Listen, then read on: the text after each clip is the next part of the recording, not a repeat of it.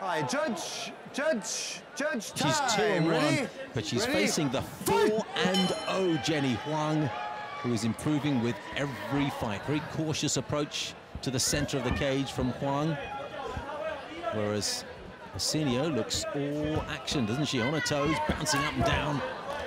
Yeah, she's got that nice, light style of wushu. They like to attack with that lead leg, throwing that beautiful side kick that really comes out of nowhere, and it comes with such speed, Steve. This is a great matchup. I've really been looking forward to this one. You know, Jenny's been known, you know, primarily as a grappling specialist, but she likes to stand in the pocket and throw heavy hands. So, nice little oh. combination there I through the left leg jab Seamless transition, one. wasn't it? Kick, punch, kick. That's Team Lakay. She is so fluid, April Osenio. Fakes to throw the left leg, thinks about it, sends in the right instead, and then a barrage of punches. Jenny Huang hasn't faced anything of this intensity before. Yeah, Jenny Huang is getting lit up. She has got to look to take this fight down quickly because she Right hand from Osenio is very heavy. Osenio just get relaxed and comfortable. And she's caught with a left leg, herself though, Osenio, but comes back with another kick, this time to the body. Jenny's got to be careful. Can't rush in like that. Got to keep emotions out of it. Maybe tighten up her guard a little bit. Elbows are really flared out to the side, so it's going to be hard to block a lot of these body shots. Does have that wide stance, doesn't she? As you say, elbows out to the side. But you don't know where the attack is coming from, from April. She's on one leg, the Filipino wrestles, ragdolls her opponent to the ground, pops back up again. Jenny Huang takes a, right uppercut to the chin, and the crowd are going nuts here at the Mall of Asia Arena. Knees to the body from April Osenio. Jenny Huang looks for the takedown and gets the trip. Nice outside trip there to get this fight onto the ground because she was struggling there as Osenio lit her up with that clinch, landing the knees and was picking her apart on the feet. But You know- good move by Huang to get this fight back to her area. Just for a moment there, they looked each other in the eye, about a foot apart. And uh, Osenio decided that they would end that stare down with a punch to the face. We've got a good fight here as these two are engaged in go some uh, work. Pretty aggressive fisticuffs. It was always going to be a good contest, this one. Beautifully matched by Matt Hume and his team. Hammer fist landed by Huang from the guard. Then goes for a straighter punch after that. April punches upwards. Nice little ground pound there. Good job by Huang. She's got heavy hands when she wants to show them. You can see April's trying to get her hand fight there. Both hands are on her on Huang's left, so she might be setting up a possible triangle, shoving that through her legs, or maybe an armbar as well. But we've seen in the past, you know, Osenio's got some legit ground skills. You can see her throwing her legs up like that. She's trying to catch that's an that right attempt arm. on a, That's an attempt on a submission. Look. Don't grab the fingers, don't grab the fingers. Uh-oh, now Huang's trying to move into side control, passes the guard. But does a right thing. Oh, knee to the head is what she went for then. And now the guillotine. It looks like it's, it could be a bit onto the side. More of a neck crank, not quite a choke, but look at, listen to the ovation Osenio's getting from the guillotine. This is how she finished Dan Osman, and the crowd know that here at the Mall of Asia Arena. They are making a racket here at Cage Side, and this is a big arena. It looks like Huang's gonna tough this out. She's doing the right thing by hand fighting there. Still a minute to go in the first. But she can't get distracted by throwing punches because Osenio might get this a little bit tighter. This is how she beat uh, Osman, so we gotta be careful. Her looks like her face is going a little bit It blue does, there, but she's got it? out. she slips out. She's well got done, it Jenny out. Huang. That took a lot out of April Osenio. You could see the grimace on her face, the effort she was putting in, trying to secure, secure that neck. Knees to the body from April. The trip from Jenny. Back they bounce up again.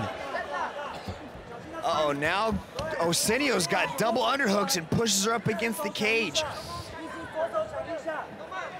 Osenio trying to engage the clinch here. You think she'd create some space and go back to her bread and butter, that wushu style Ten second. striking, but I think there's a grappler inside this Wushu striker, Steve. These are our preliminary contests, and they are sending everybody here My time. through the roof. If it's any indication of what's gonna happen, let's take a look at some of this past action here.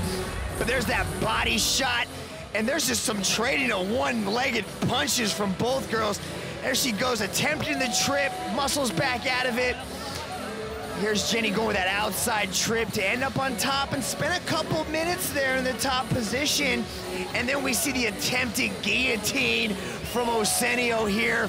It seems to be her favorite submission as he started cranking on that neck. Looked to be more of a neck crank, let's go to Rich Franklin. How do you break that fight down? Well, I'll tell you the big story in the first round is the striking superiority.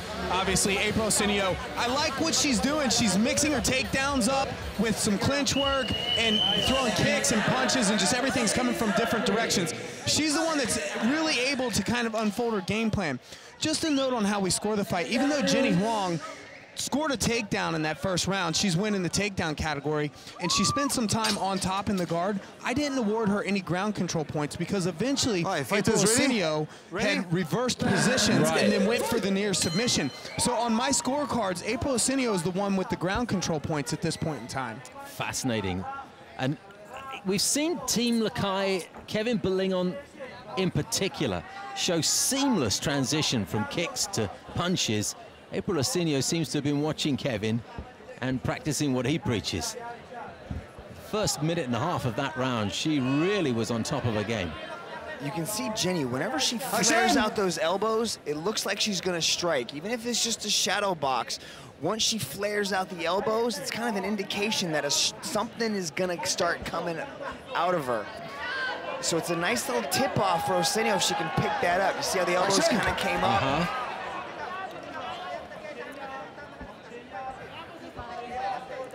She's very cautious, Jenny Huang, isn't she? Not inching forward at all. That's that's April Osenio's responsibility in this fight. Nice little front kick there again. There's that Lakay front kick. I think we should just call it that from now on, the Lakay kick, because every single one of them do it so beautifully. I think we're gonna see a few Lakay fighters on the card, so we may see that kick all night long. Jenny Huang's game seems to be one of counter-attacks because she's not she's not pushing the attack, is she? She's waiting for April to throw first.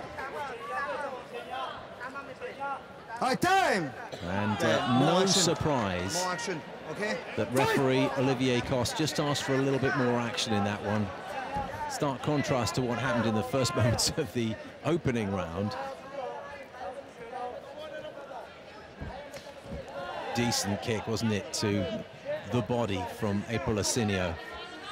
She's definitely not putting the combinations the way she did together in the first round. She's only kind of throwing these one shots, but she could be setting something up here. And she's got to be careful as well, because Jenny Huang is very dangerous. See, that's the thing. She wants to avoid this clinch, she wants to avoid the takedown. Beautiful outside reap there from Jenny Huang to put April Osenio onto her back. Kind of an Osoto Gari there with a outside leg trip to end up in the top position of the side control. Every reason to believe that the winner of this contest will have a world title bout in their very near future.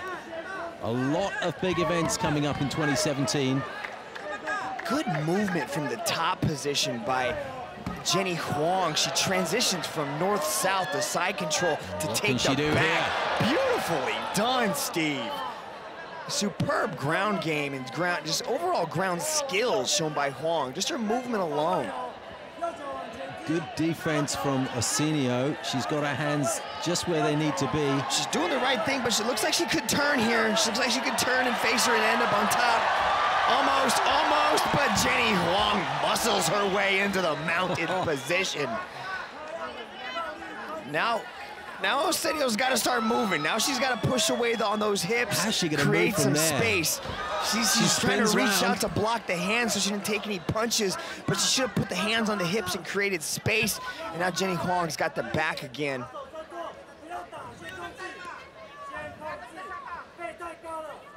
Jenny Huang concentrating on getting that left arm underneath April's left arm. Is that is that the best way from here, Mitch? She wouldn't want to go over the top and round the throat. She's trying to control that arm so it's going to give her better access to the choke because if she can secure the arm and brace it down, she's going to be able to slide that. See how she did that? See how she was able to slide the arm under the chin a little bit better? And that's what she wanted. But oh, oh Osenio's doing the right thing by trying to scramble, but she's giving up bad positions. You can just see us, the, the grappling advantage is just going further and further into Jenny Huang. But a good bridge attempt there by Osenio. That's pure power to muscle out of No it. kick, no kick. Here looks like a possible omoplata. Able to muscle out of it from Osenio. Senio's got that left foot on, I beg your pardon, Jenny Huang's got her left foot on Senio's hip. She'll try and push that away, but Looks like she's setting up maybe a go-go plata here. Oh, oh she tapped! Oh, beautiful submission there. I don't know if you guys saw that at home. It took me a minute to catch it, but that was a gogoplata submission. and a great celebration as well from Jenny Huang. And she has improved her record to 5 and 0. Look at this from this angle. The shin is under the throat of Osenio. She's able to pull down on the back of the neck. Credit to Rich Franklin for catching that.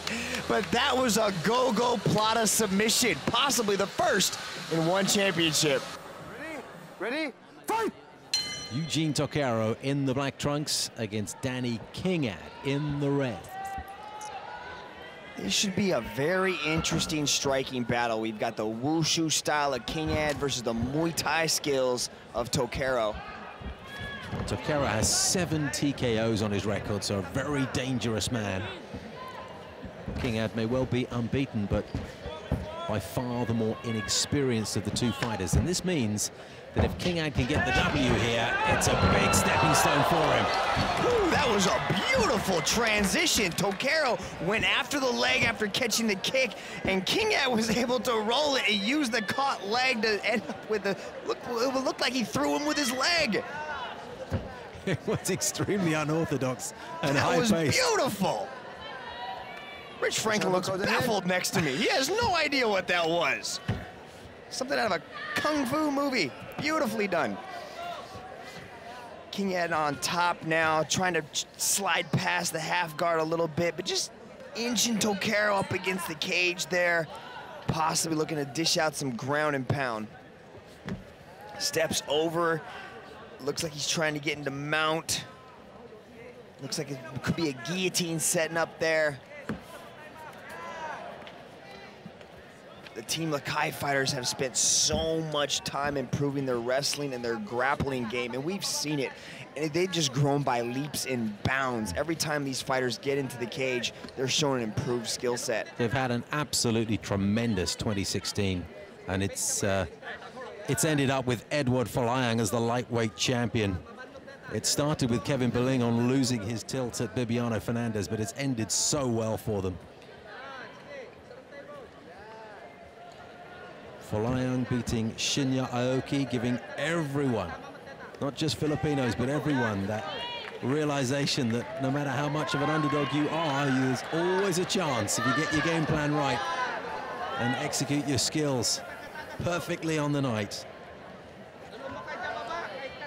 half guard shown here by Toquero, and he's really got to try to get away from having his back flat against the mat there. Kingad's doing the right thing by pressuring him like that, and also keeping his head on that side of the body so Toquero can't turn onto his side and start maybe shrimping away out of that.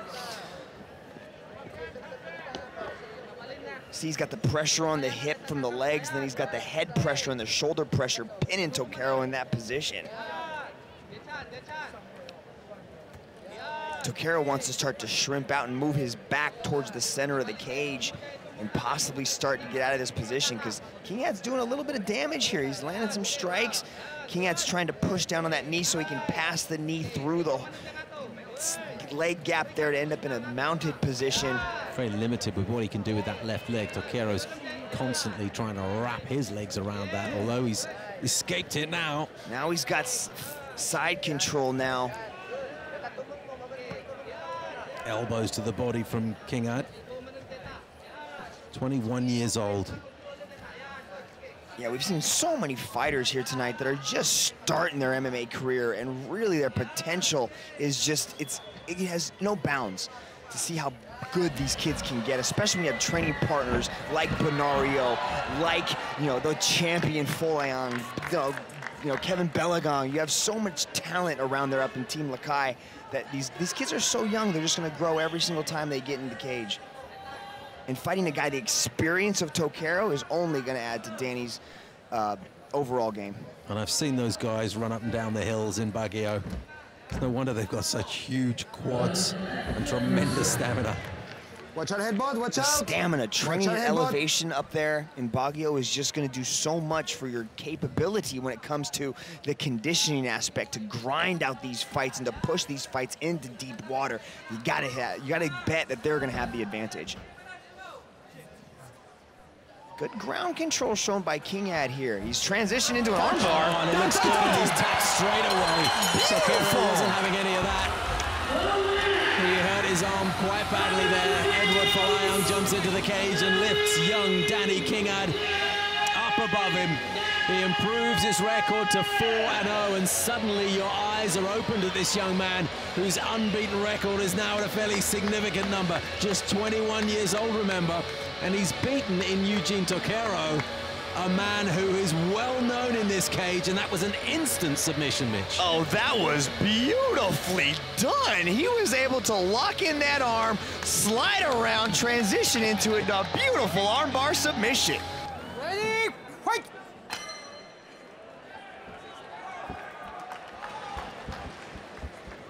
Kelly in the red shorts, Sunoto of Indonesia in the black.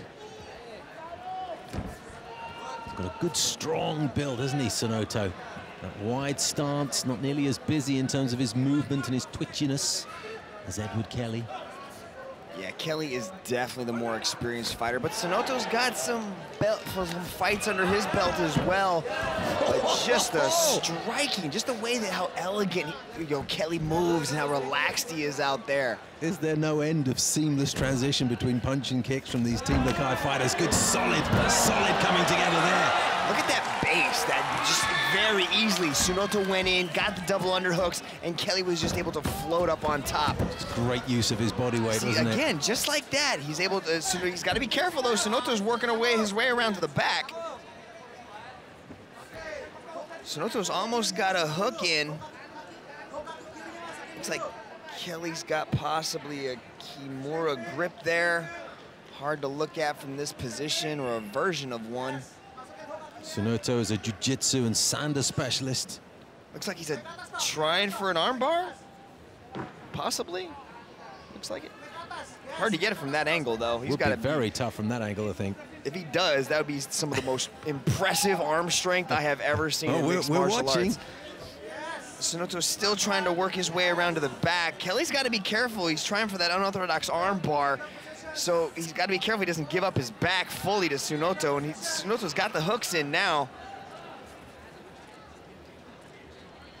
Does, does, probably does have enough space there to push that, that arm to its extension because there's a long way to go in, in King Ag's left arm. Yeah, but he's but got to roll over to his But the angle left, doesn't he? Yeah, the just- angle's all wrong. It's impossible to count. I mean, it's not impossible. It- It's theoretically possible, but it just doesn't sound very logical. And now the elbow's out, so now he's just kind of threatening the, On the forearm, yeah. there. Okay. Lets that go, and now Sunoto's got the body triangle in, and now he's working his way into a rear naked choke. So Kelly's got to keep his right hand there, pinning that you know right arm of Sunoto down. We have seen one-armed rear naked chokes very recently, but probably won't see it here. In any case, Kelly's chin is uh, nice and low, but he's sending back some punches to keep Sunoto awake and aware, and you can see that they're having an impression on the Indonesians. And the crowd kind of gets behind that. I think they liked a little bit of the rear, uh, Plenty of rear good work. in there. You know, his brother Eric Kelly is an absolute expert at that. Blind punches. And Edwards taking a leaf out of his brother's book, and he's loving it. Is that a grin on his face? I'm not sure. The crowd are loving it. Just listen to them roaring here. He's not doing a lot of damage. It's a bad angle to get the punch off of, so he's not gonna have a lot of power behind it, but he's accumulating a little bit of damage, and that might be, you know, moving in a little bit ahead of, at least he's being active from this position. You know, he's trying to have some defense, but he's gotta be careful because Sunoto keeps trying to slide that arm under the chin. Action.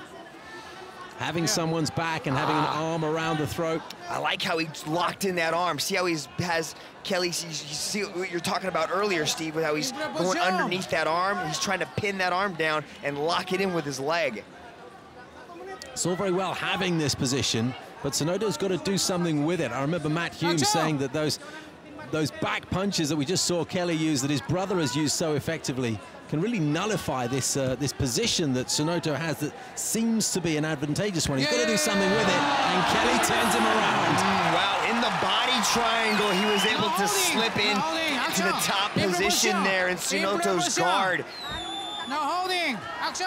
Sunoto's trying to hold on there, but Sunoto's got a really active guard. He is good off his back, and now he was trying to threaten there for a triangle, but Kelly did the right thing by keeping both arms inside the legs of Sunoto.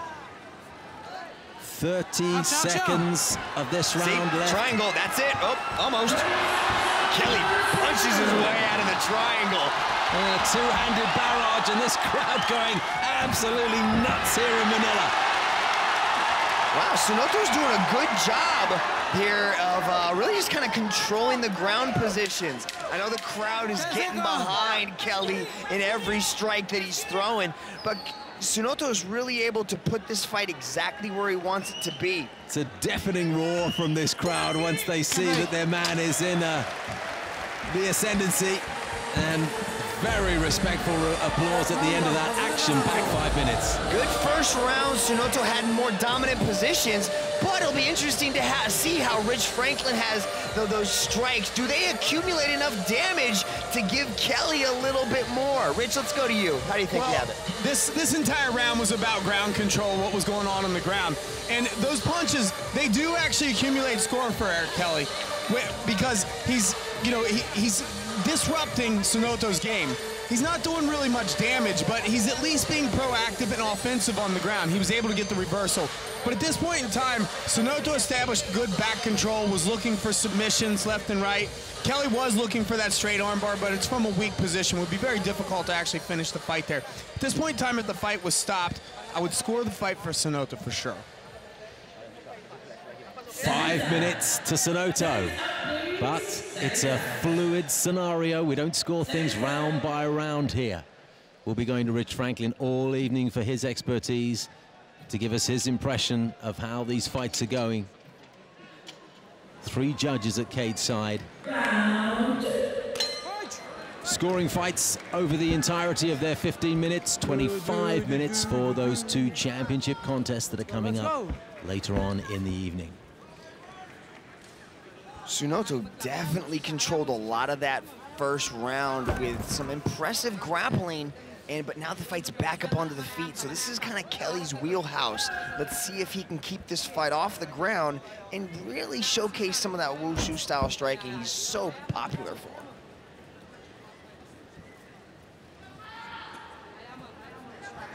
Watching with such concentration, Sunoto, isn't he? Flinging in that left leg. But when you're dominating on the ground like that, that's it's still in the back of your mind. It's hard to have that selective memory where you can just forget about certain things and focus on the current activity that's happening right now. Because if you know he knows when he gets put on the ground, he's going to be in some trouble. That situation, Mitch, is so similar to a fight that involved his brother. I've mentioned it already, but the, the pertinent issue here is that the judges scored for Kelly's punching behind him, and they were looking for the person who had the rear naked chokehold or the potential to take it to actually do something with it. So I'm fascinated to see how the judges see this. Oh, left hand came in from Sunoto as he moved forward. Interesting, Kelly initiates the clinch, has the double underhooks, it looks like, yep. Let's see what he can do with that. Now he's trying, but these guys, these Lakay fighters have really improved their wrestling. See Sunoto's trying to break that grip by squeezing his arms together there, makes it hard for Kelly to kind of secure the body lock.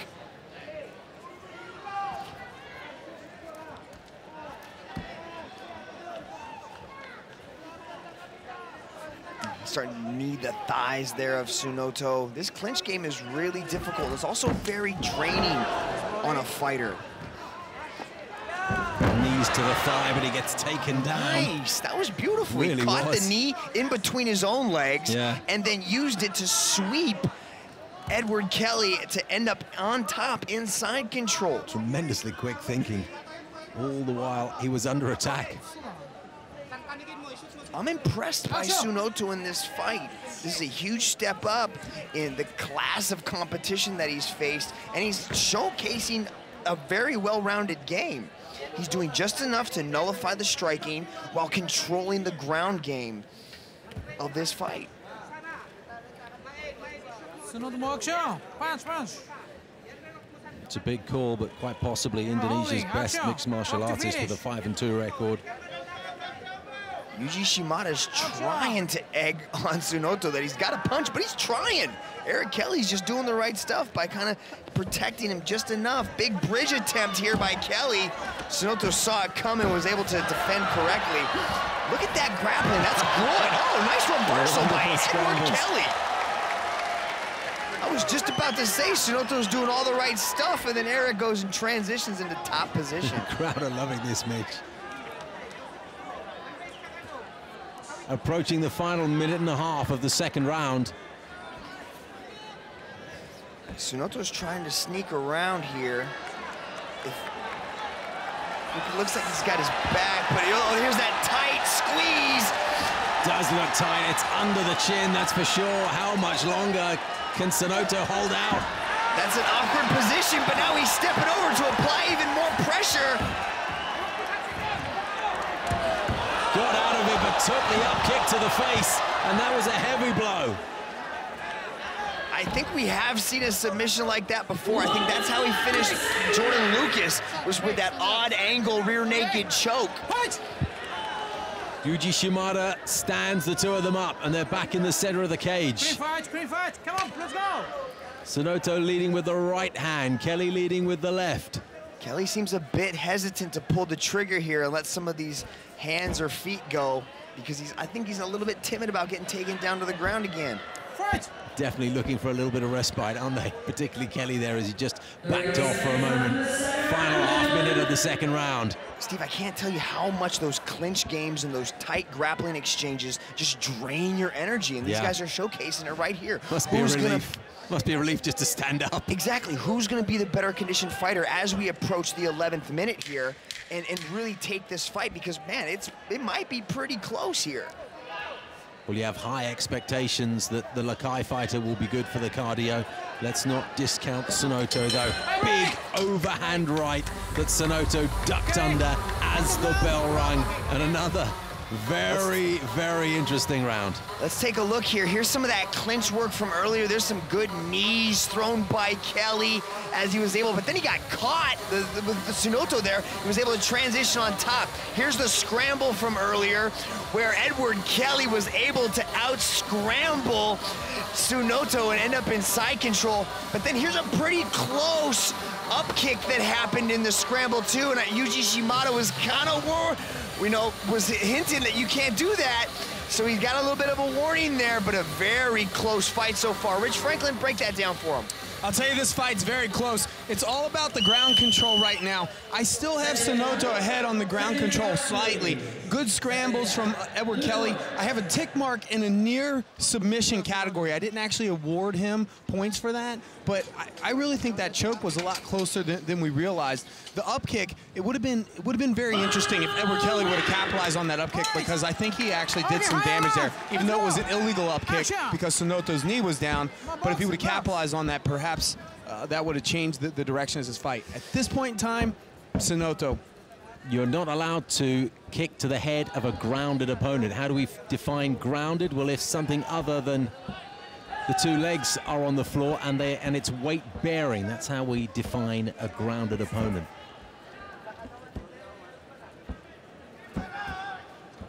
So according to Rich Franklin, Sunoto's got a slight edge Oh, good left hand. It was just a single punch, but it this picked him out. And he just connected with a beautiful left hand there.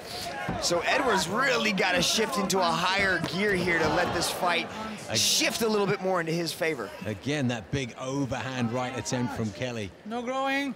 No growing. Yuji Shimada just looking to make sure that those knees don't go too central at the moment. They're hitting the inside of the thigh. And Yuji Box, calling box. for action. Box, box. A lot of analysts were giving this fight as a heavy favorite to Kelly, so Sunoto's doing a great job here in the step up in class. How about that stomping Hey. on the foot, Mitch? Does that hurt? okay? It sucks, Watch Steve. out. There's so Watch many out, little tiny bones inside the foot, and a heel to the foot can cause a lot of damage. The metatarsal in the foot, the common injury for soccer players, and I'm sure the metatarsal, yeah. Steve breaking out the anatomy for all you viewers at home. So if you've got a biology test coming up, you are now going to know what the bones in the foot are called. Action. Certainly don't want to break one.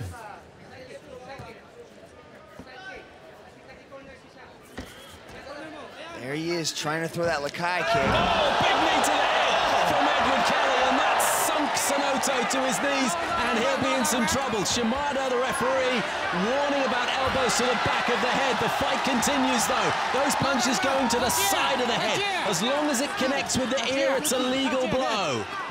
Sunoto is hanging on for dear life because he was rocked by that follow-up Is right in kick. trouble, and Yuji Shimada has seen enough. Edward Kelly improves his record to 9 and 3, and he does so in front of his own fans.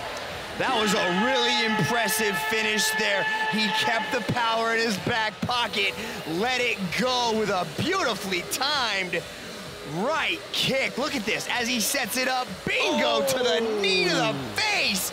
Drops Sunoto, and then Eric Kelly just swarms all over him with the ground and pound. Doesn't let up, lets it fall like rain in Manila, dropping some big bombs to get another victory win. Ready? Ready? Fight! Just look at the shoulders of Muhammad Ali. Muhammad Ali's dropping his stance, not lowering that center of gravity. The Leandro Ataides told me he wants to take this fight on his feet for the first couple of minutes, but look at this, Muhammad Ali is initiating the ground game. There's no fear coming out of Muhammad Ali to attack the ground of Ataides. Stupendous start, wasn't it? Caught the leg and then just went full pelt. Good candidate for the Haveline fight of the night. There'll be a few candidates by the time we're done, I can assure you of that. Ataides is nice and relaxed, keeping that head moving. I like how he's keeping his guard a little bit higher this time. Muhammad Ali's getting nice and square, nice and tight, ready to let these punches go in a hurry.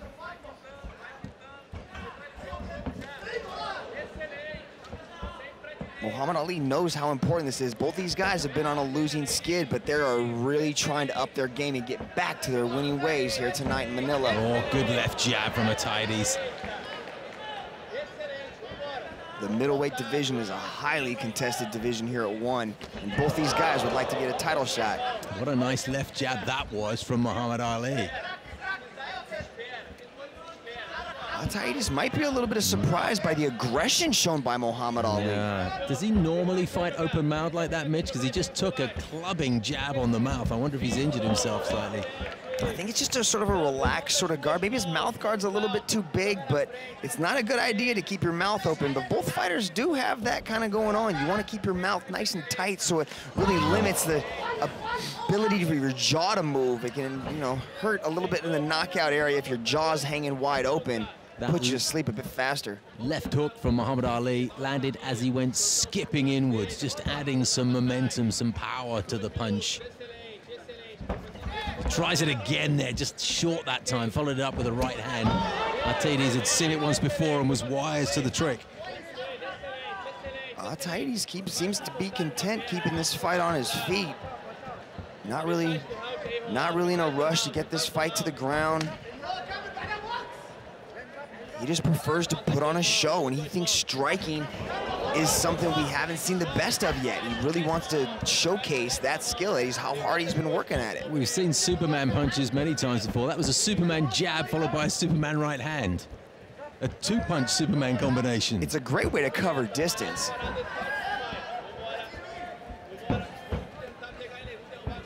Good feints by Ataides, just really trying to get us a, a reaction or some kind of just flinch out of Muhammad Ali. And his flinch this time was a spinning back fist. Yeah. That came up about four feet short, but he still threw it. Short, it was short. It's a difficult punch to land because it's so heavily telegraphed. Edward Folayang, probably the best exponent thereof. But it's better in the middle of an Oh, exchange. good left hand from Muhammad Ali. Threw a right that was short, the left landed flush. We've seen a good number of punches land flush, and these are heavy, heavy hitters. Just squatting down, isn't he, Ali? Making himself shorter than he actually is.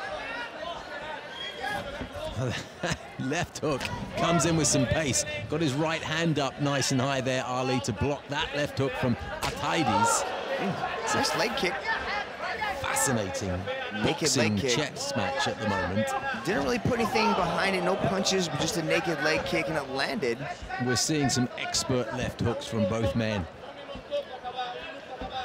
But Ataides is true by his word. He told me all this week that he wants to keep the first round on his feet and just kind of feel out the process, see what Muhammad Ali's got on his feet. And in the second round, he looks to take it to the ground. But as I say that, he shoots in for the double leg takedown. Goes for it ahead of time. He's got to make some work a little bit faster here because he's only got 40 seconds left in the first round. Muhammad Ali's just kind of buying some time with the double overhooks. And I think that's going to add a little bit of an impression in the judges just to score some points and maybe shift the, that round to his favor just slightly. You can see Muhammad Ali is holding on for dear life, not wanting to let those arms go. Trying to get back up. He gets into half guard. Good little hip move there. But uh, he set, looked like Leandro Ataides was trying to set up a Kimura, but good work by Muhammad Ali to get back up to his feet to end the first round. Wonderful first round it's been. The bell's about to sound, and I've really enjoyed this first five minutes. Ten more to go. Ataides against Ali, Brazil against Egypt. Overall, here's that catch from the leg kick where we just saw Muhammad Ali explode out and start throwing some heavy bombs. Not scared of the ground game at all. But then there's a nice little left hook coming from Ataides that you commented on earlier. But very impressive round. Rich, how do you have that first round scored? Well, you know, I, I have both these guys actually scored evenly in the takedowns because Muhammad had that takedown at the beginning of the round. Story here is a striking superiority. I actually have Muhammad as the aggressor this round, landing more of the, the big punches, the bigger leg kicks and stuff like that. Ataides, I think he's kind of been playing coy for the round. Shot in that takedown at the end to, uh, to, to set up that precedent like, hey, I want to stand, I want to stand, I want to stand. It's going to be interesting to see what kind of game plan he comes out with in the second round. But as we stop the fight here, if, if the fight ended, I would have Ali winning. And from here, from your discussions with him, Mitch, he's looking to take things to the canvas for From the next 10 know, minutes. From what I know, he will uh, attempt to showcase some of those lethal Brazilian Jiu-Jitsu skills. So perhaps a whole new ball game for Muhammad Ali to have to deal with now. But that takedown at the end of the round just kind of leaves an impression in Ali's head that uh, this fight can go to the ground at any minute. Now he's hurt his leg. That left leg took an absolute hammer blow just to the outside of the knee, and he hobbled on it for a bit, and he's still a little bit tender on it. He's a little weary, but he kind of shakes it off well and answers with a leg kick of his own.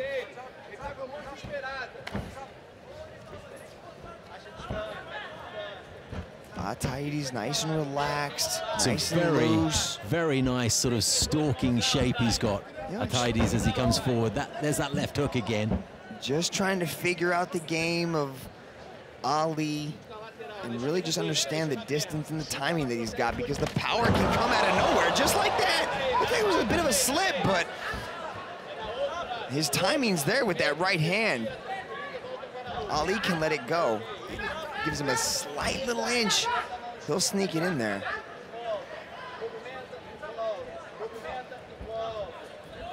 Yeah, I think that was a slip. I think he just kind of went for a kick, and Ali stepped in at the right time. There's that wide stance that Muhammad Ali has. Springy on his legs. Oh, he's sent in a knee there and Gorby's knees wobbled. Oh, he's really wobbly. Why isn't Ataides chasing after him? Has he missed a trick there? Very, very He's- cautious, the Brazilian. Oh, he's giving him a lot of time to recover because he was on wobbly He's legs. still, still looking shaky, Mitch, to me. Artide- Why is Artide, Ataides so hesitant? He's giving him a chance finish. to come back. He's giving him a long, that was like 30 seconds of recovery time. He can't be toying with him, can he? You would think so. You would hope that, that that is part of his game plan, that he's seeing something that we're not quite, you know, capable of understanding right now because he just shook Ali with that nice straight shot. absolutely no doubt that Ali was in trouble for quite a considerable time there. How could he not pull the trigger? Baffles me. He can't be he can't be that fatigued at this stage. It can't be a question of just being too tired. Or even possibly shooting for a takedown, which he told me he was going to do.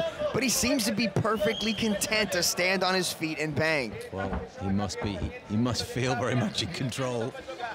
We shall, Um, we shall leave it to him. Ali completely seems to be recovered. He seems to have his, his wits about him. He's nice and light on his feet, moving around. I do think he's still got a bit of trouble with that left leg, though, Mitch. He's, he doesn't seem to put all the weight on there as he starts to skip around. But you pick up you pick up knocks during the course of a fight. It's only to be expected. Yeah, he's definitely light and the tender on that leg. A nice little left hook there, landed again. Goes after that leg once more in a similar sort of place. Either way, it buckles the knee. Outside in, which is exactly what that previous kick did. And I think Ataides thinks he's fully in control here and can bide his time and finish this any way he wants. Will that be a big error of judgment? Very patient, very patient, relaxed striker, looking for his shots. that that lateral left hook from shoulder height to chin height was thrown with some beauty, but it missed entirely. Lucky for Muhammad Ali. Action! Oh, good right left. It was the left hand that landed from Ali. Just seeing a little bit of daylight for him to come back into this one. Has he been given too much time? The accuracy is not there from Ali, but the power still is. You can almost feel the wind coming off of some of these strikes, even though they're, you know, almost a couple feet from the target, but they're still coming at a pretty fierce pace. Ataid is starting to march forward. There's that kick again. That left leg, Muhammad Ali, is uh, taking some punishment. Right on the outside, just above the knee. but maybe he's not seeing the, the, the, the tenderness to that leg and how gingerly that you know Muhammad Ali is on because he's just kind of it's, a, it's a good point. He doesn't get the, the holistic view of things that we do.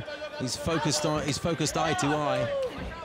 You know when when Ataides has rushed in you know he's made that mistake before and he's gotten dropped you know so maybe he's just being a little bit more cautious a little bit smarter fighter trying to take this fighter in fight into the deep water and uh, oh beautiful It's finished. It is absolutely all over, and that came within the blink of an eye.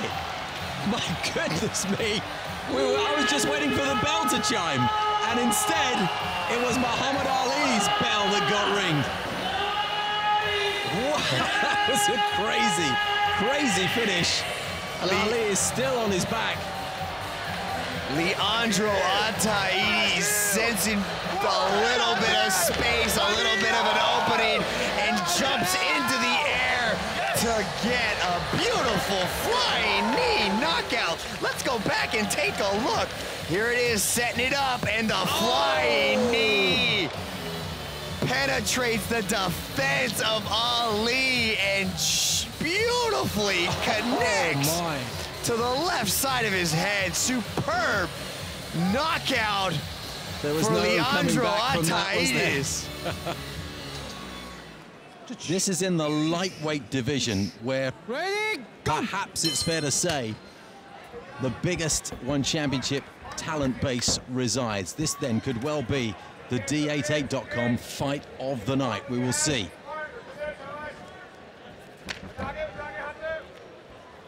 Banario Banario showcasing that wushu style from Lakay, nice and oh. relaxed, but he ducks under a huge right hand thrown by Mina to end up on top in side control. He told me he wants to win this fight by submission. That's what he's looking for. That's what he's been training for, and that's where he thinks he sees the biggest weakness in Mina's game. Had he not ducked under that punch, we could all have been looking ahead to the next fight. That was a huge blow. But a beautifully transitioned double leg where he just slid under it, got the double, and ended up in a very advantageous position as he's securing side control here. Mina's just kind of holding on to the head there, not really doing much with it. Is he very limited there, Banario, in, in what he can do with that arm around his neck? Not so much, he can throw some ground and pound from this area. And you know, we have seen it before. There is a von Flue choke from that area, but now he looks like he's transitioned into a Kimura.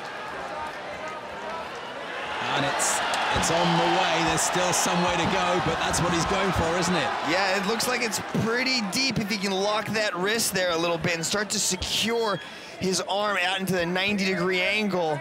Posture up onto his side, pick Mina up, but he's Mina's doing the right, the right thing by defending, by straightening his arm out like that. Back on their feet, a minute and 40 into this contest. Banario wanted the submission. Now he's forced to go back to his bread and butter, that stand up. Another big overhand right. Good kicks from Banario. Another Mina's- of these wushu specialists from Baguio. He's throwing that inside leg kick and Mina's just headhunting with that big overhand right. If he connects with that, it's going to be a good night. There it is again, not quite as explosive. Good double leg. He's really timing these punches right to avoid them and end up in top. And he's able to slide right over into side control. This is that improved grappling we've been speaking about. Same sort of position, side control, but his head is locked within that left arm. There's a von Flue choke there. He can use his left shoulder there as a possible, you know, cut off the carotid artery and sink in a choke there. But now he's going to try to lock in a crucifix maybe. He's trying to fish that right hand there, lock it into his legs, extend the other arm out, drop in a little bit of ground and pound. Now he's going for an Americana. Looks like it could be on the other side, but he lets that go. And he's just going to go with a ground and pound. Right arm's disabled, left arm they're working on. That leaves Banario's left fist to do the work. Yeah, he's gonna try to use that posture over there. There's an Americana on the opposite side. He lets that go, goes back to the punches. Mina's trying to knee his way out of a bad situation, but that's not going to work. Filipino crowd love Honorio Banario. Really getting behind him. Oh, yeah, he's their first champion, man. He brought home gold to the Philippines. Good. Minute and a half left. Mina's just in a bad spot right here. He's got that right arm pinned under the legs. He's really got to try to create some scrambles, but the pressure of Banario looks intense. The way he's separating out like that, and he's spreading out Mina. Forearms to the chin. Yep. And around the forehead, and double quick time as well from Banario. Ah, I like that, how he laced in that arm right there. Now he's going back to the Kimura on the opposite side. There it is. Uh-oh. Mina's trying to defend, floats over into an armbar. Then to his Honorio Banario improves his record to 11 and 6, and that is three consecutive wins in the One Championship cage. And Team Lakay march forward once more. What a turnaround in this man's career. There's From that world submission. champion to five losses in a row, back to three on the trot. And that's Team Lakay's second armbar win of the night, man. That must, how many times have these guys drilled this move in practice? But look at the way he floats over from the Kimura, transitions into the armbar. Once he got that locked up, Mina had no place to go but to tap his way out. Ready? Eustaquio stays exactly where he started, has not put a foot forward so far. Tauru had to come all the way across the cage. He's allowing Tauru to close that distance and get nice and tight. Tauru wants to get this fight to the ground while Eustaquio wants to keep distance and keep this fight within kicking range. One, two from Eustaquio, and as I said, he'll switch that up to a three-punch combination when he gets the chance. Just like that, Tauru shoots in for a takedown. Looks like Geje used a Kimura in his reverse position and end up on top. Tauru's doing the right thing by fighting that fence, off. grab the fence. Splitting the legs there. Olivier Coste warning Tauru, Eustaquio actually not to grab the fence with his feet, but Tauru jumps all over the back now. Tauru's got high-level Brazilian Jiu-Jitsu. Most of his fights have come by finish on the ground. Now he's got both hooks in. Eustaquio's not in a good position. Don't grab the But. Team don't grab Lakay gloves. fighters have been fighting off the, the back position all night long, so Gloves, gloves. Well, we saw uh, Edward Kelly send in some punches backwards from this position. There's there's an attempt at it by Eustaquio. They both landed, the two attempts that he's that he sent out there. See, we've heard that, you know, the height difference doesn't really matter too much on the ground, but I really Gage, think it gage. does. It gives you a lot longer limbs to reach in and snatch submissions, and especially when you can body triangle your opponent like Tauru has right there on a Eustaquio, you just can't move at all, and you also, it restricts your breathing as well, Steve.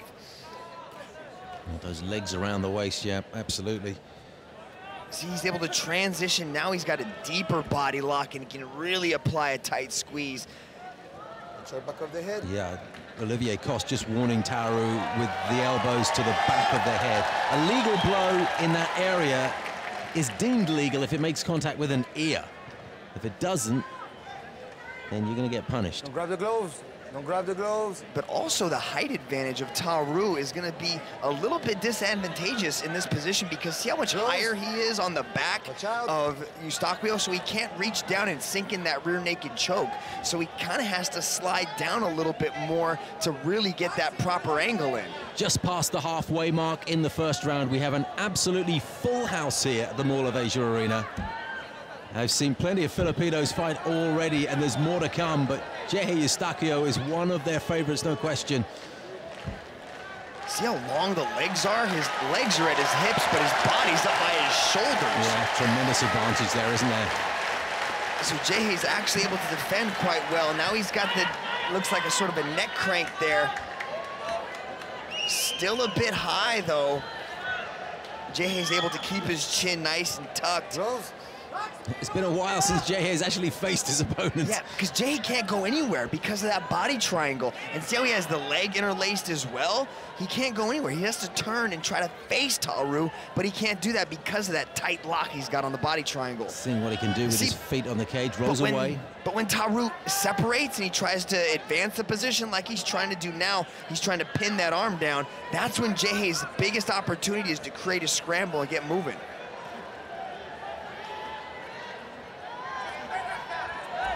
Tauru trying to send some punches. See, now he's got that arm pinned. Now that's a bad spot. Now the choke's under the chin, Steve. It is this could under. be it.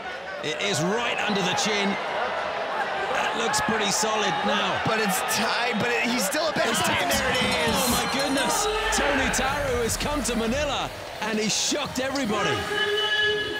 Man, very tough. That was a bad position for Geje to be in. He was trapped. He had his arm trapped. The arm was able to get under the neck. Once he got under the neck, that was the end of it. And look at that sportsmanship from the Finnish fighter. Spending a moment to console Geje Eustaquio. Let's take a look at this. This is high-level Brazilian Jiu-Jitsu, Steve. He's able to trap the arm there with his right leg. Once that arm is trapped and he got the arm under, under the neck, he's able to secure that choke. And unfortunately, Geje had no place to go but to tap his way out. Ready? Ready? Fight! against the most enduring world champion in one championship history. McLaren will be the most energetic of the two at the beginning, on their feet. Yeah, we got to see how McLaren's striking has improved. It seems to be the biggest hole in his game, but he's said he's been working so hard on his boxing. But he immediately shoots in for the takedown. Bibiano is able to control the top game and end up on top. Now he's trying to step over. This is where we rarely see McLaren. We rarely see him on his back. Bibiano slides him right over to the Oh, cage. He gets wheelbarrowed into Yeah. the cage wall. And what that's gonna do, that's gonna prevent Reece McLaren from throwing up any submission attempts because he's not able to create any space. And Bibiano is gonna be able to pressurize him, suck a little bit of his energy out, and dish out a little bit of ground and pound. Ridiculous strength from Fernandes to upend McLaren like that. And Mc McLaren is a very strong young man. Oh man, I've spent a lot of time on the mat with Bibiano, and it is incredibly frustrating that a man that size can control you so easily, just manhandles people. Last fight for Bibiano was back in ah. January of this year when he beat Kevin Belingon, Filipino. That was nice. McLaren tried to put his foot on Bibiano's hip, but Bibiano was able to sidestep it out and pass right over. McLaren's good, good on him, though, to get back up to his feet.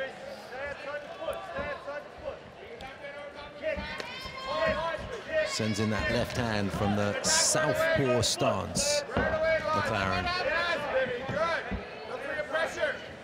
McLaren's being active on his feet, staying nice and light on his toes. Throwing out strikes, landing some. Bibiano closes the distance. Got to make sure he keeps his hands up, though. Bibiano trying to go for that knee tap takedown. McLaren able to fight it off. Ooh. Inside leg kick landed by Bibby.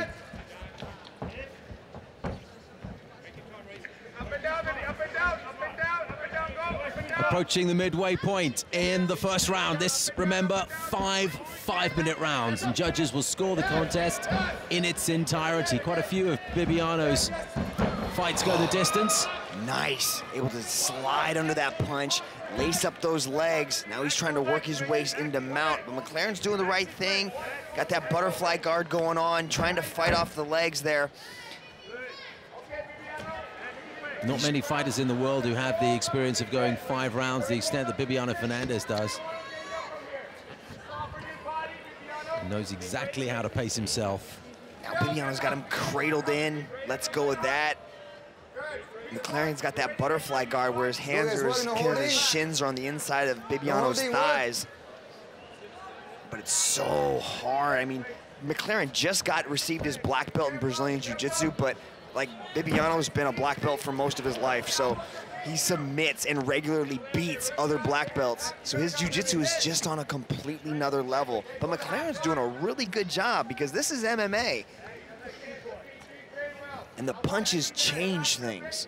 Being able to punch changes a jiu-jitsu fighter's game.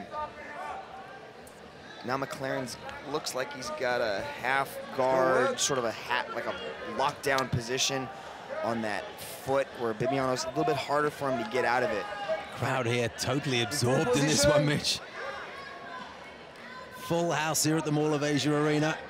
Like how Bibiano uses his head. He's always got his head in the right position. So he's trying to put his head up against the chin of McLaren just to make sure he can't quite move as well. He can also pin him to the ground. Chance of Bibi, I think, from the crowd behind me. He's a very popular fighter. Bibiano's a methodical jiu-jitsu player. He's gonna slowly try to pass the guard, end up inside control, work to the mount, go for the finish. Watch out your head, watch out the head. Yeah, Bibiano's head Watch out, came head down up. on McLaren's. No, no question that it was intentional, but that's what Olivier Coste is uh, just having a word about. This could be a long fight, Steve, because McLaren is showing good jiu-jitsu defense. He's able to secure a lot of positions and defend quite well. So he's gonna make Bibiano work for this, and this fight could be contested or decided on their feet. Final 10 seconds of the opening round then. D88.com fight of the night if you're a big fan of chess matches, enduring contests. All right, time. First five minutes in the books.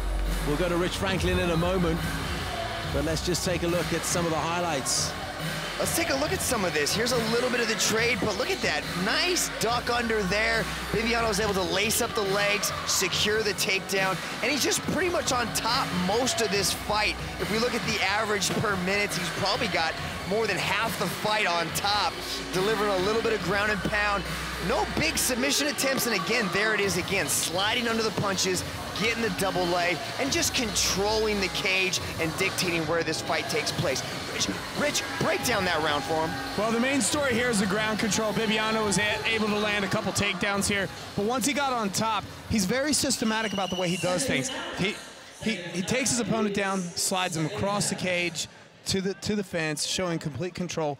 Didn't do a whole lot of nothing flashy or anything like that. Just very tight where he keeps his head, like you had mentioned. Moved to half guard, not a whole lot of damage. But at this point in time, the fight was stopped based on just the ground control. Bibiano would be ahead. Reece McLaren nine and three. Bibiano Fernandes, 19 and three. Another busy, high-energy start from the Australian this is going to be the best area for Reece McLaren. He's could, you know, he can outwork Bibiano here and, and really land some, some significant strikes and possibly outwork him because the, the, the striking could be even here. And look at this, McLaren going for the takedown. And that's what he's known for. We're not used to seeing McLaren on his back. Look at him trying to get inventive. I like this. I like the confidence that he's showing here. Ooh, nice right hand landed by Bibiano.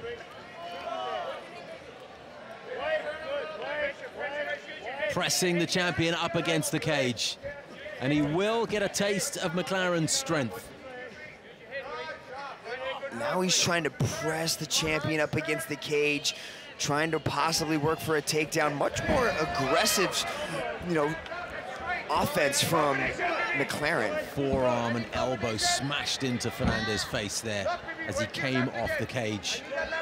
I also like the angles that he's working out. He kind of shuffles his feet and then circles to the outside of Bibiano, away from his power hand, and then setting up some strikes. So he's giving Bibby some different looks to try to, you know, understand.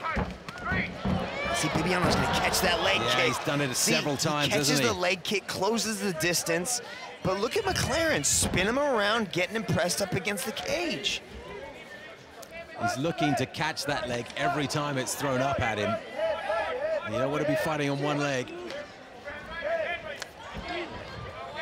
Bibiano's got to be careful with that hand, keeping that hand low down by his chest. McLaren's throwing that left kick. Ooh. Was that a slip or was there a bit of a sweep in there? Ooh. Right hand from Fernandes, just that. after a little left hand feeler. Bibiano lands a right hand. Reece McLaren, push McLaren back. Him. Shakes it off, smiles at him, says that did nothing. You don't want to take too many of those, McLaren. Another right hand from Fernandes oh. and a left and a right, oh. and McLaren gets caught again. Now he's starting to understand the rhythm, and he goes for the takedown and gets it. Look how he laces up those hands. That's that long reach of Bibiano. Now he's got the back. Uh oh, bad spot for Reece. Looks to soften him up with the blows and then go for the attack at close quarters. Thinking about the knee to the gluteus maximus. Looks like McLaren's trying to think. He thought about kicking out and spinning around, but uh oh, Bibiano's got the back now. He's got the body triangle. McLaren's doing the right stuff, though. He's fighting the hands, doing the good right stuff. You can see a little bit of a little bit of damage on the mouth of McLaren there. Yeah, there's a small injury there. Shouldn't be a big problem unless it interferes with his breathing. I think that came from that big right hand that he said didn't bother him, but it looked like it might have. Bibiano's starting to go for that rear naked choke. He's got the body triangle locked in. He's got about a minute and 50 seconds to work this position. Elbow to the uh, to the neck there from Fernandes. He unleashes another one, looking for the shoulder this time, the shoulder blade.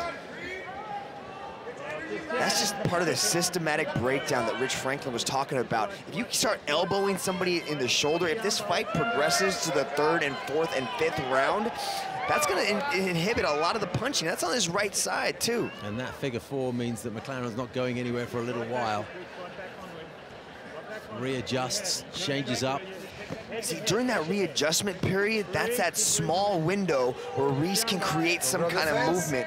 But it's so tough when you have somebody the caliber of Bibiano on your back like that. You ain't going anywhere. Is this the beginning of the end? Fernandes has less than a minute now to work this near naked choke, if that's what he's going for, and he plays to the camera. And the audience here at the Mall of Asia Arena saw that, and It's brought them to their feet in various parts of this arena. That's the kind of personality we're dealing with here. He's just Watch a out, fun kid to talk to. He's got so much personality and charisma. He just enjoys being in there.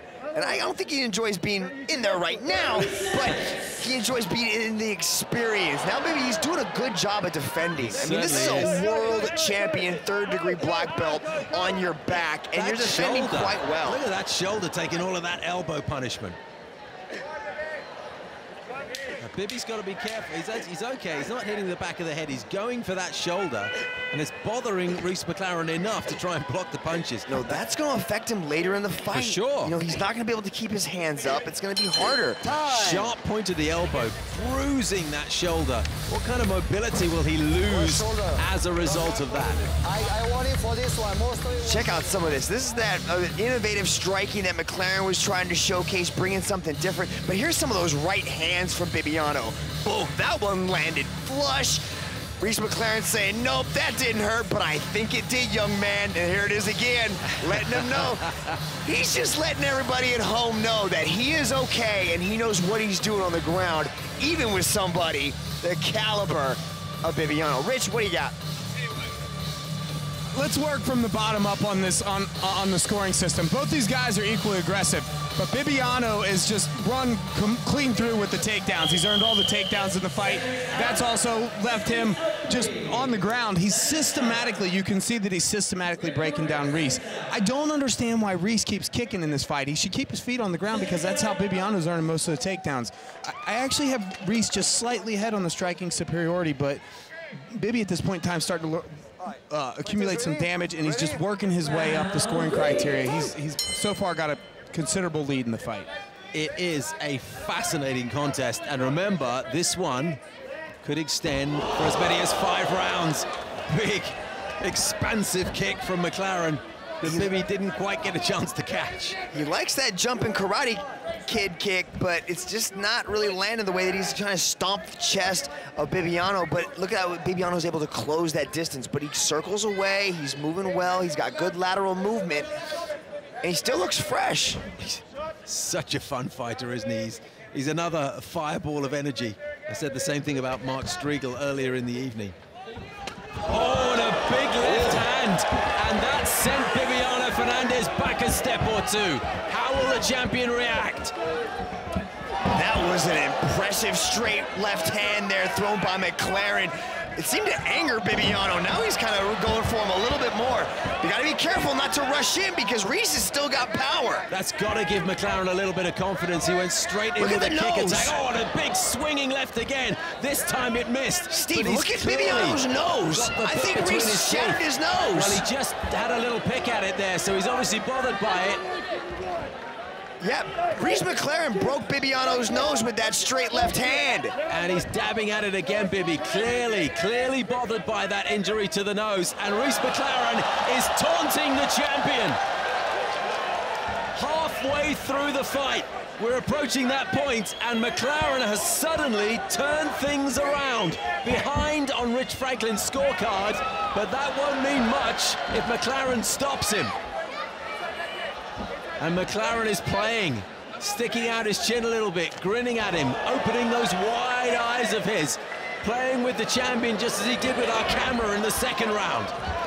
Look at the movement of the challenger. He's moving so well laterally. He's throwing strikes and immediately getting on his bicycle, moving those feet around. Don't forget, McLaren is the upset specialist. He's just won his last two fights very much with that character. Will he do it again?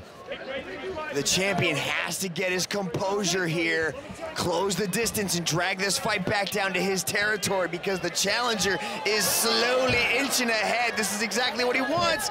Good defense by Reece McLaren. Big left hand, and that may well have landed flush on the nose again. This means Fernandes will have trouble breathing. Clearly, he'll be in a lot of pain when punches land. McLaren is saying to the referee, take a look at that nose. Stop the contest. Nah, they're not gonna stop the fight over a nose. Bibiano's an absolute warrior. It's starting to bleed though now. Now it's starting to come out. I think there's an external cut on Fernandes's nose. And that's why that's what McLaren was pointing at. He'll get any advantage he can, any help he can from the referee.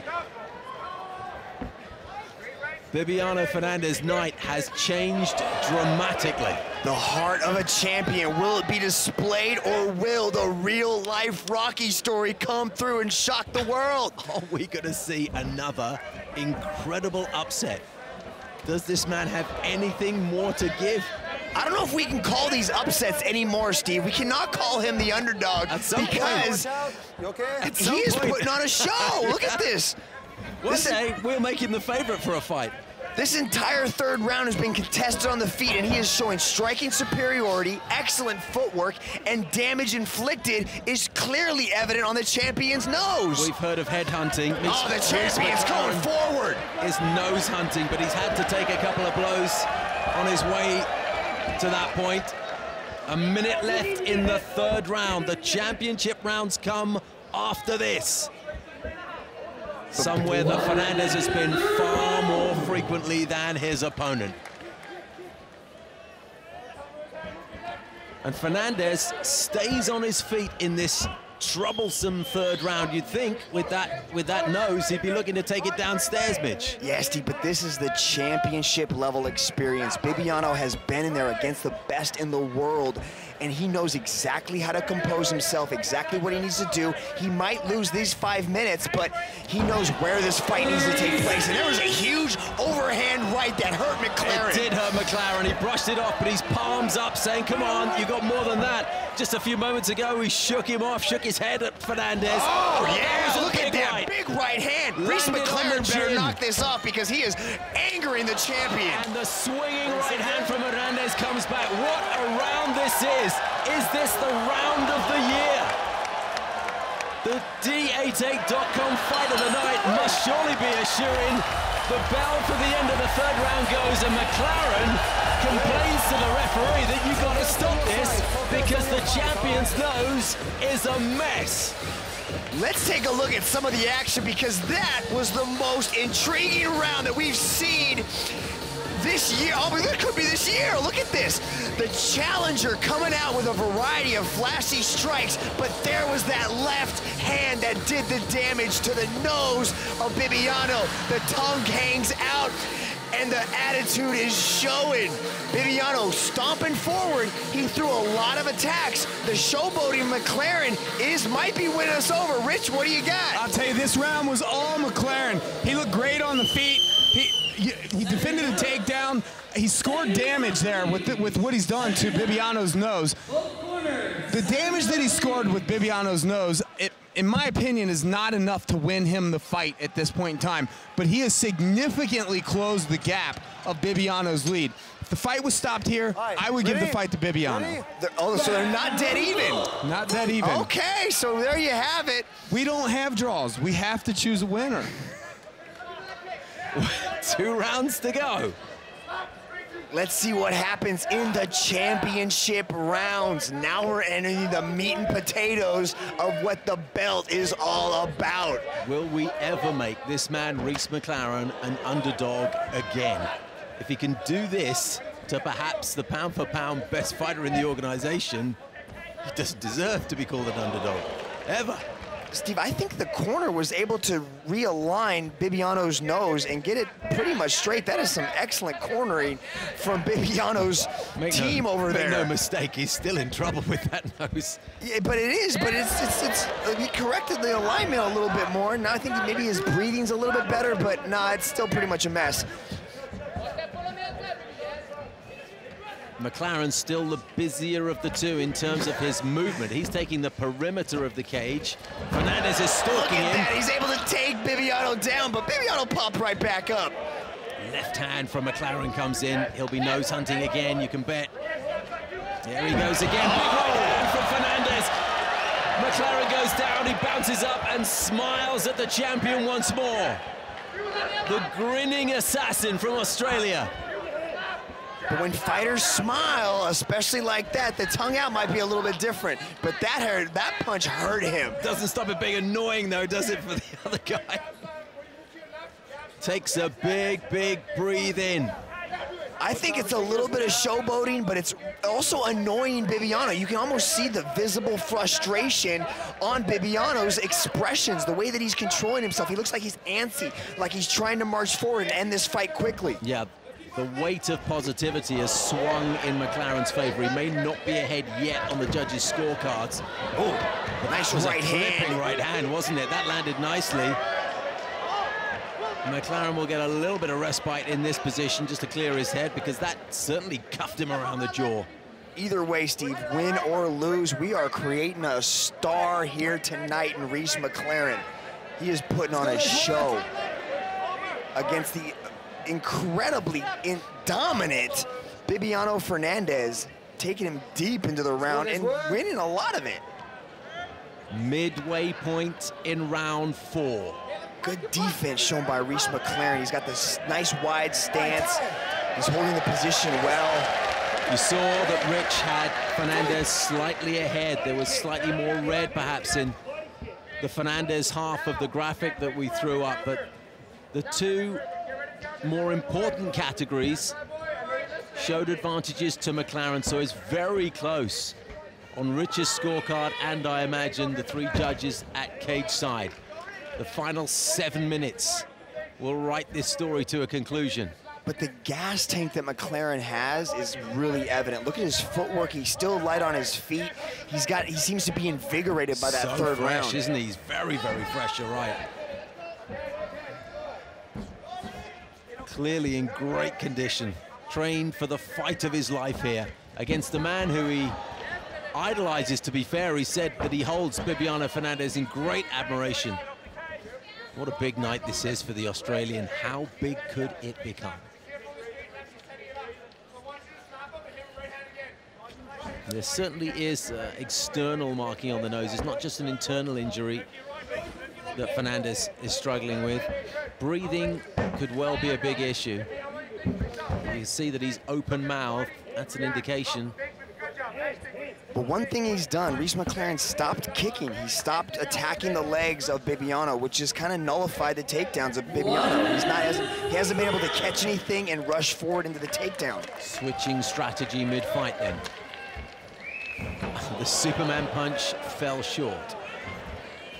Yeah, this is where the championship experience of Bibiano Fernandes is going to come into Right play. hand from Bibi. Beautiful right hand by Bibiano. You know, the showmanship, the flashiness, the, the tongue hanging out, it's definitely winning the crowd over, but Bibiano is staying composed, staying relaxed, and now that frustration seems to be gone, and now he's landing some significant strikes. Kick to the midriff, and McLaren is suggesting that that was low. Great work from Olivier Coste to get in there before Bibiano could follow up. He was quite right to follow up. You keep fighting until the referee tells you otherwise, but very alert from our referee. And Reece McLaren will get a maximum of five minutes to break. Rich Franklin, why don't you just uh, take us through this replay and in this moment that we had, give us your thoughts on who might be ahead now. Well, I'll take you through the replay. It was right on target. And uh, Bibby's, obviously, Bibby has five minutes to recover here. He gets the duration of a round to recover. I, but they're restarting already, so we'll just see where this takes We'll, us. we'll get back to you. There's hardly a moment to breathe, is there? Yeah, I don't think Reece wants to take the time. You know, he's definitely seeing the momentum shift, and he wants to get right back in there. That's a great point. Yeah, why why let the momentum die down if uh, you're in the ascendancy? And he certainly looks confident. The bell chimes for the end of the round. We'll take you through some of the highlights and then we'll get back to Rich. Can't wait to see how he's scoring this. Go ahead, Mitch. See, here's this round. This round was very closely contested, but again, it wasn't as dominant as the third round. You see a little bit of the showboating, but these are significant strikes that are landing by Bibiano. Rich, what do you got? I'll, t- I- I'll tell you, I, in my opinion, I think Bibiano extended his lead a little bit more in that round. Y- you know, I have the striking superiority up on, on the screen here, and the reason why is because the discrepancy between the two fighters at the end of the last round was much more significant. When you look at all the other categories with the ground control and the takedowns and all that kind of stuff, I, I believe that Bibiano has actually extended his lead here. So at the end of this round, I would have Bibiano. Plenty of scope, even without a stoppage for McLaren to come back in this fifth and final round on points, though. if this was the final, it, oh, the fight is very close. Hmm. So with one more round to go, with five more minutes, either fighter could win this based on just points. All right, ready? Fernandes Ready? ahead, still anyone's contest though. The touch of gloves before the final five minutes, and again, a lot of energy exhibited from McLaren, who makes a fast start to this final stanza. The condition of this kid is exceptional. He drives Fernandes into the cage. Look at the balance of Fernandes. That that that takedown has worked on every single opponent McLaren has had. Now the damage a little bit more on uh, McLaren's face. I think he might have took another low blow there, but he shook it off to stay right in the mix. Our first to keep the contest. momentum on his side. Excuse me, Mitch. Our first contest that's gone into the fifth round tonight could well be our D88.com fight of the night. As I said earlier, it could be up there for fight of the year. The way that this one has turned around. Still Fernandes slightly ahead according to Rich, but McLaren has brought himself back into this contest after uh, not quite being in it in the first 10 minutes.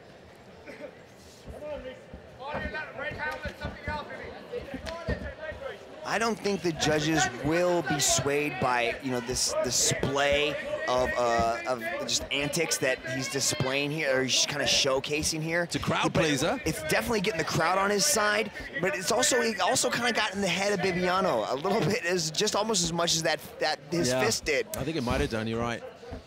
But McLaren is putting so much promise behind these punches. He's definitely improved in this in the striking game. This is also where the tremendous experience that Bibiano Fernandes has will serve him very, very well. He's been in wars, he's been in roller coaster rides. He knows how to bring himself under control, last the full 25 minutes, and get the best out of it.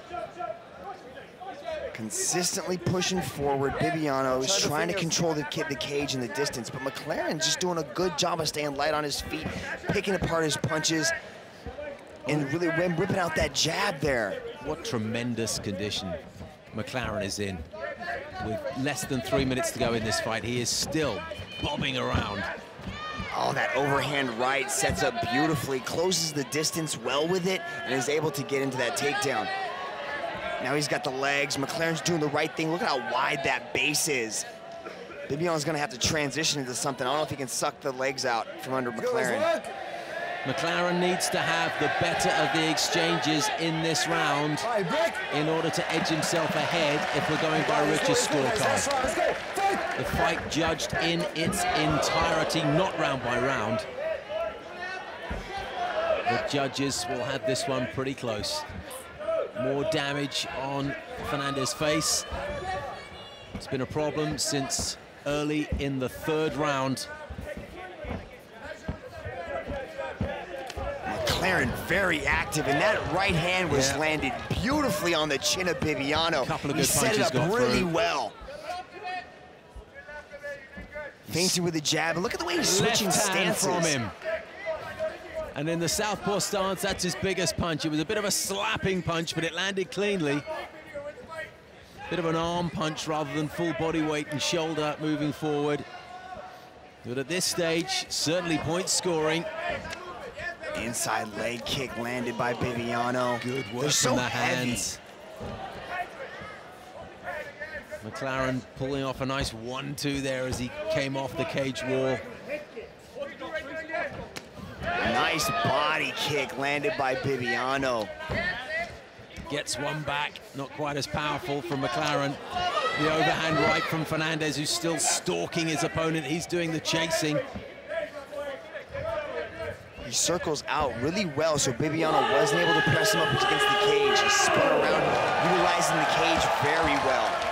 Great appreciation from this crowd at the Mall of Asia Arena. A full house, and we're into the final 45 seconds. Both fighters are trying to leave everything in the middle of that cage. Who can leave their mark on this contest in the most indelible way? Fernandes. Takedown defense by Reece McLaren and also to exit with some punches. They both quicken up the action inside the final half minute. The crowd on their feet behind me. Applause and cheers ringing around this arena. Final 20 seconds, the kick to the head from McLaren. What has Fernandes got left? Can McLaren pull out anything that will capture the judge's eye? A couple of spinning back looks up to the giant screen and sees that he's inside the final 10 seconds. Fernandes throwing everything he has as the seconds tick away. His championship belt on the line and it will go down to the three judges at cage side after an absolutely thrilling contest here in Manila. Taking a look at the Let, replay us go back in time and take a look at that body kick landed by Bibiano. Just this fight was an amazing battle of attrition. There's that left hand coming over from Reece. Bibiano answers with a shot of his own. McLaren, this this is how the fight ended, just throwing everything they had at each other. What a tremendous fight for the bantamweight strap. Before we go to the judge's decision, let's get the thoughts of Rich Franklin. These guys are making my job so hard tonight, let me tell you. Listen, it was a close fight even at the end with the stand-up war. I think I would actually edge that stand-up war out to Bibby a little bit. But the lead that he had from the ground control earlier in the fight, in my opinion, gives Bibiano this fight. All right, quite clear from Rich Franklin that Bibiano has edged it and, in his opinion, has probably been in front for the entire contest. But Reece McLaren, who is currently doing push-ups in the cage and doing laps of the cage, has made this a thrilling contest and is very much in the conversation. Three minds will apply themselves to who has won this contest, and those are the only minds that matter. McLaren's arm is in the hands of Olivier Coste. Bibiano Fernandes will come over in a moment. CEO of One Championship, Victor Cui, is in the cage. He gives McLaren a pat on the shoulder for a job extremely well done. I'm waiting for Dominic Lau to get in the cage. Clearly, there are judges' score sheets to be compiled, taken together. What a thrilling contest this is. D88.com fight of the night. Has to be, doesn't it? Keep in mind, we still have Brandon Vera and Hideki Sekine to come.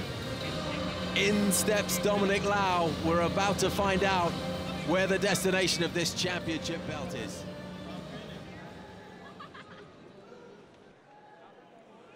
Ladies and gentlemen, after five rounds of battle, we turn now to our judges' scorecards. Judge number one calls his fight in favor of the red corner.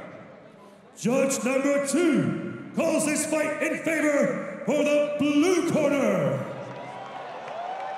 And judge number three calls this fight in favor of your winner and still one bantamweight world champion, Bibiano the Flash Fernandes.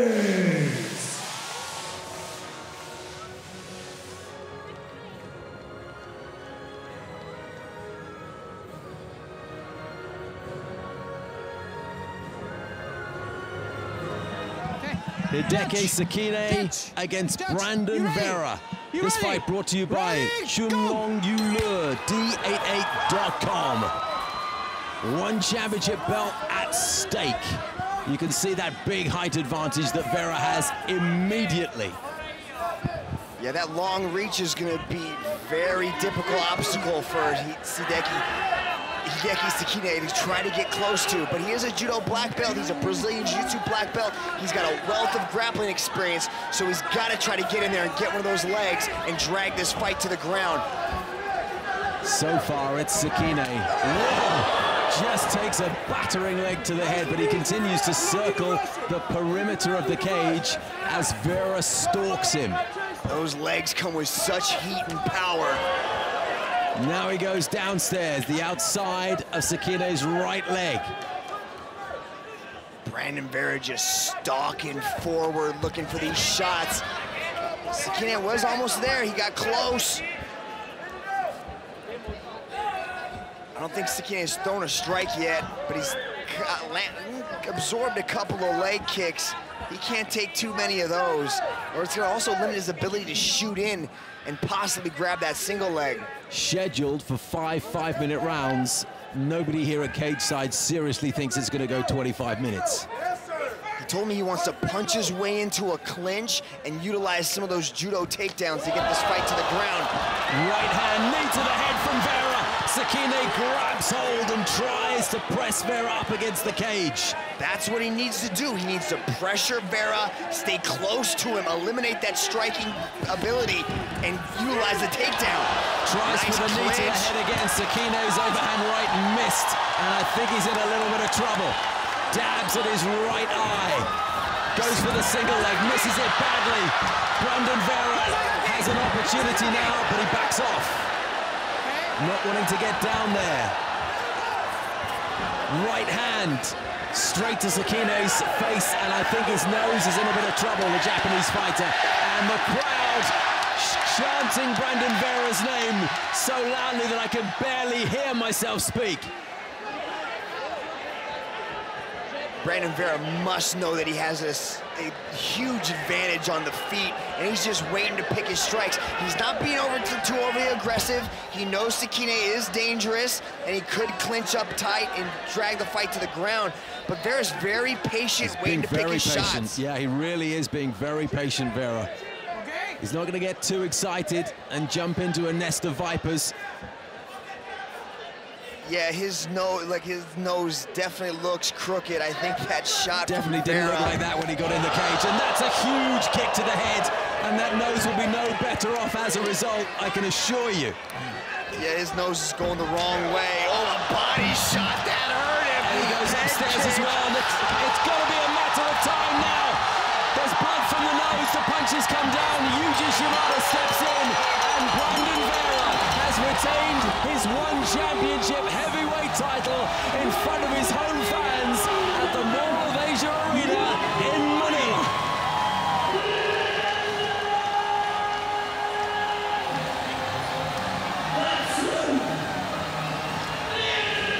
Embraces his coach in the center of the cage. Everybody in this arena is on their feet. And their new countryman has just done the business for them. There's his celebration. He goes over to Hideki Sekine, whose face is understandably buried in a towel because it took tremendous punishment, and that is the measure of the man. He can unleash torture.